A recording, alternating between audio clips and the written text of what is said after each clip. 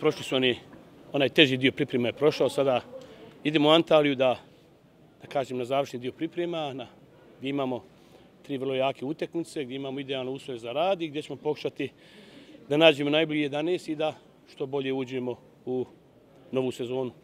Jednostavno, vi vrlo dobro znate, svi mi kažemo, pripreme su, radimo nikad bolje, jao, kako smo dobro, kakva nam je dobra atmosfera, ali zato sve ima povratna informacija, a prvu povratnu informaciju dobit ćemo 26. kada budemo igrali protiv Viteza. Koliko ste zadovoljni svojom ekipom eh, trenutno koju imate na raspolaganju? Ekipa je, zajedno smo već pet mjeseci, ekipa koja, koja može, ekipa koja zna, ekipa koja mora biti skoncentrisana cijelo vrijeme. Ako hoćemo da napravimo rezultat, svi zajedno moramo da se pokrenemo i da damo svoj maksimum i tek tada možemo napraviti rezultat. Koliko ostanak Duljevića znači za ekipu? Radi znači puno, Duljević ostaje do prvog sedmog, to nas raduje.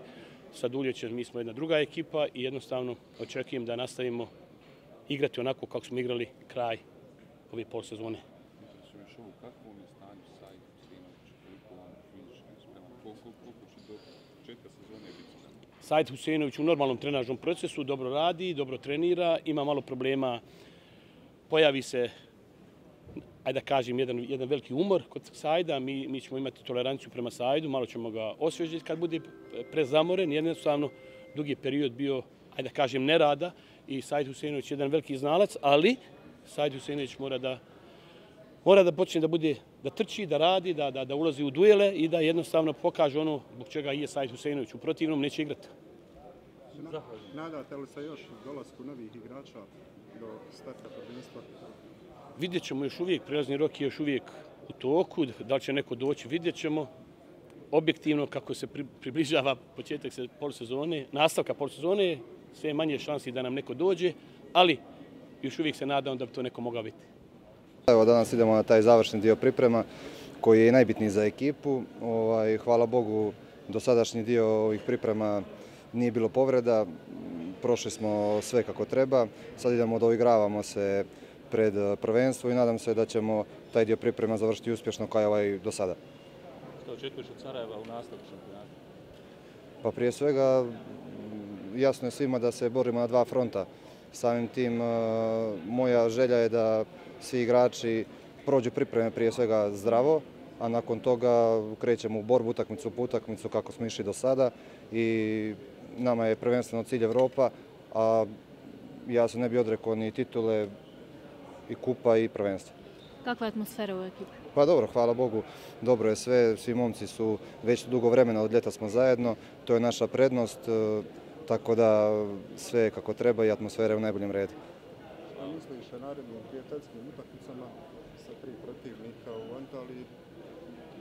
Pa, prijateljske utakmice služe da se ekipa uigra na najbolji način, da dočeka spremno prvenstvo, tako da svi igrači će sigurno dobiti svoju priliku da pokažu šta znaju i na šefu stručnog štaba je da odluči ko će započeti prvenstvo. Kolika je prednost Sarajeva što se nije mijenjalo ekipu po tebi, ali isto, u isto vrijeme nije ni dodalo nove igrače?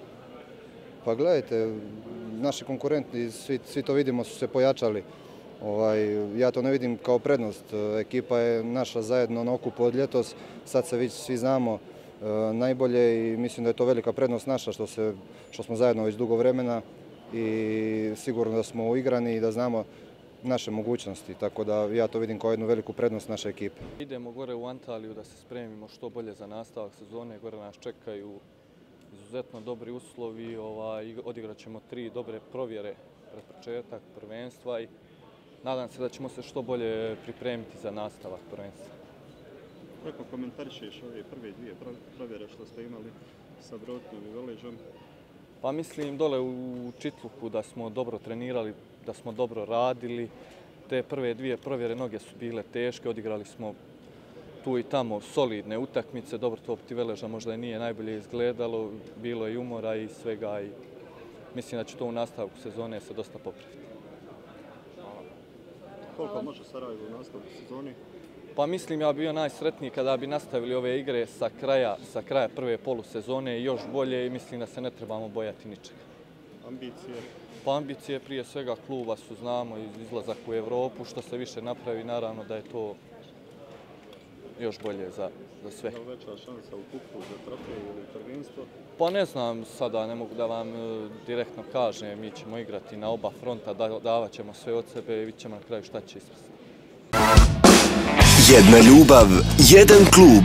Polusezonske ulaznice za domaće utakmice Futbalskog kluba Sarajevo u proljetnom dijelu sezone su u prodaji. Tribina Sjever, Vedran Pulić, 15. Tribina Istok, 35. Tribina Zapad, 45 konvertibilnih maraka. Više informacija na www.fksarajevo.ba i profilima Bordo kluba na društvenim mrežama.